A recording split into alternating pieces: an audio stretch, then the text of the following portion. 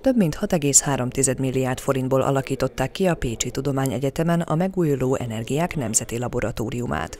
Erről számoltak be az intézményben, amely bejelentésen részt vett a Technológiai és Ipari Minisztérium minisztere is.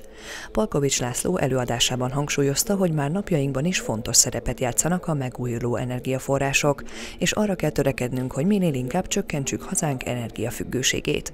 Azt is elmondta, hogy nem véletlenül a Pécsi Egyetemen hozták létre a laboratóriumot. Az egyetem szeretné magát pozícionálni általában a fenntarthatóság területén, és ezen belül különböző technológiai területeken. Na ezért lett az a döntés, hogy akkor a megújuló energiák nemzeti laboratóriumnak a központja a Pécsi Tudományegyetemen lesz. Ugye az egyetemnek van egy, megkapták a Karolinabányát, meg felkapni a Karolinabányát, azt át, szeretnénk alakítani egy milyen ökológiai demonstrációvá, de például azt, hogy befedjük napelemekkel a felületét, és egyébként megnézzük, mi mindent tudunk hasznosítani.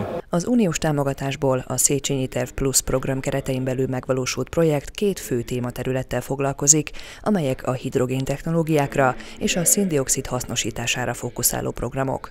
Köszöntőjében a Kulturális és Innovációs Minisztérium államtitkára úgy fogalmazott, hogy ez a lépés illeszkedik az idei év stratégiájába.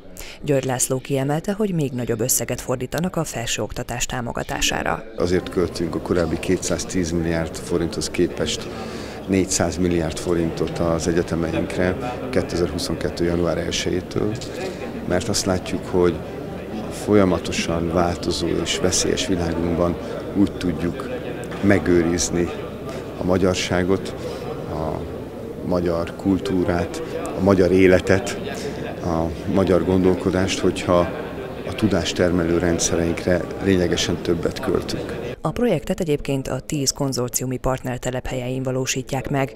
További cél még a zöld és digitális átállást támogató felfedező kísérleti megközelítésű kutatások indítása. Ennek érdekében a következő három és fél évben kiépítik a kislábnyomú energiatechnológiák bázisát.